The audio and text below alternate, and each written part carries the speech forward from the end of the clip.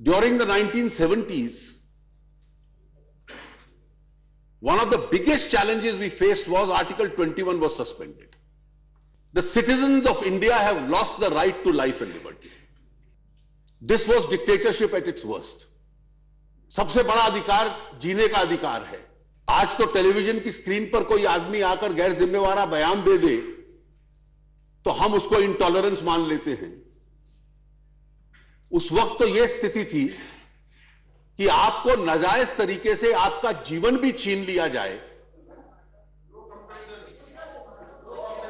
Of course there is no comparison the difference is between a mouse and a molehill people lose the right to live people lose the right to liberty they can be jailed without reason they can be killed without reason